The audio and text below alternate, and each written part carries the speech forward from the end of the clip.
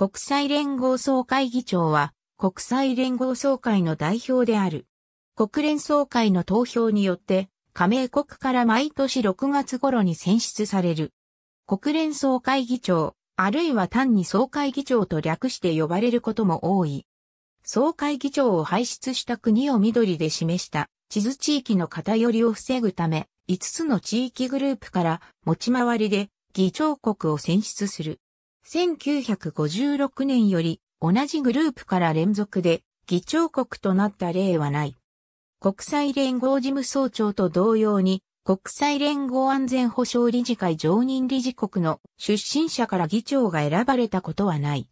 その他、列強、大国とされる国からも選出が避けられる傾向がある。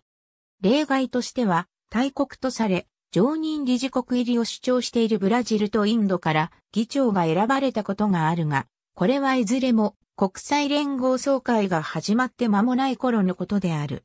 議長国を複数回務めた国はこれまでにアルゼンチンのみで第3回と第43回の2度務めている。女性が議長を務めたことはこれまでに3度のみである。1953年、インドのビジャやラクシュミ・パンディットが